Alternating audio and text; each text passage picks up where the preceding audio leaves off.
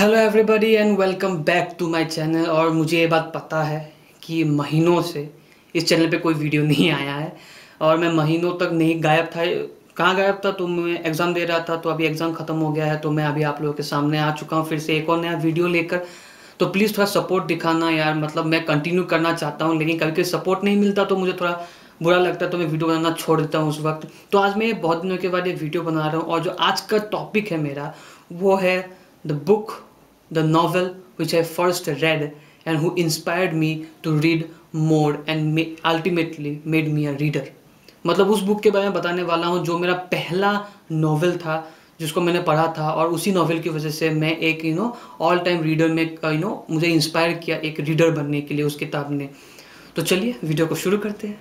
Book का नाम है my one of the favourite Robin Sharma book the monk who sold is Ferrari ये किताब है रॉबिन शर्मा का और जो है ये इस किताब ने मुझे काफ़ी इंस्पायर किया है, काफ़ी हेल्प किया है लाइफ में आगे बढ़ने के लिए भी और साथ ही साथ यू नो बुक्स पढ़ने के लिए भी मुझे इंस्पायर किया है। इस बुक का कॉन्सेप्ट बहुत अच्छा है, इस बुक के जो रिव्यूज़ थे वो बहुत अच्छा है। मैं यूट्यूब से ऐसे स्क्रॉल कर स्क्रॉल डाउन कर रहा था तो मुझे ऐसे सजेशन में ये किताब आया। तो मैंने सोचा कि किताब का कॉन्सेप्ट अच्छा है तो थोड़ा पढ़ के देखते हैं कैसा है। तो जब मैंने पढ़ के देखा देन आई रियलाइज़ कि मतलब ये जो बुक है, ये बुक एक जेम है। सही में बताऊँ मतलब इसकी जो कॉन्सेप्ट है फिलोसॉफीज है, वो आपको बहुत ही ज़्यादा पसंद आएँगे। मतलब ये एक ऐसे व्यक्ति के ऊपर है, जो कि मतलब अपने सक्सेस को ढूँढने के जो यू नो रास्ते पे अपनी जो पूरी कैरेक्टर है पर्सनैलिटी उसको खो देता है। तो वही एक इंसान जो लॉयर होता है सक्सेसफुल लॉयर होता है, वो अपने आप को खो देता है हमेशा के लिए। तो वो अपना सेल्फ डिस्कवर करने के लिए, वो इंडिया आता है इंडिया के मंक से मिलने के लिए। फिर जब वो इंडिया से वापस जब यूनाइटेड स्टेट्स जाता है तो वो एक मंक बन जाता है और वो आप उसके जितने भी पोजिशंस होते हैं ना मटेरियल पोजिशन जैसे कि उसके पास घर होते हैं फरारी होती है, ये सब होती है, वो सब कुछ बेच देता है। तो इसी वजह से इस बुक का नाम जो है द मॉन्क सोल्डिस फरारी है, क्योंकि वो उस इंसान के बारे में है जो इंडिया जाके मॉन्क बन गया और उसने अपना सब कुछ पोजिशन बेच दिया।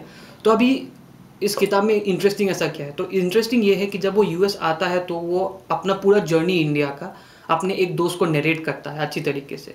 तो जब वो नरेट करता है अपने दोस्त को वो स्टोरी तो उसी नरेशन में इस पूरे किताब को लिखा गया है, इस पूरे किताब के फिलोसॉफीज कॉन्सेप्ट्स को लिखा गया है, जो आपको इस किताब में हर एक टाइम बाउंड करके रखती है। और ये किताब ज़्यादा आप देखो तो ज़्यादा पतला किताब है, ज़्यादा मोटा किताब है नहीं। लगभग 200 पेज के आसपास का किताब है और दो सौ इसका प्राइस भी है।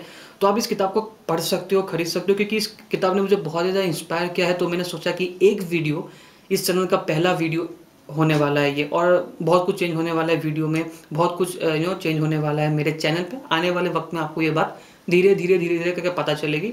आज के लिए बस इतना ही, आज का ये जो वीडियो है, अगर आपको ये पसंद आता है तो प्लीज़ शेयर कीजिए। और अगर आपको इसका एक डिटेल रिव्यू चाहिए या फिर कोई ऐसा समरी कुछ चाहिए इस किताब का तो मुझे डू कमेंट में डाउन ठीक है? तो मैं इसका एक जो जो है समरी आपको बता दूँगा। तो आज के लिए बस इतना ही। Thank you so much and bye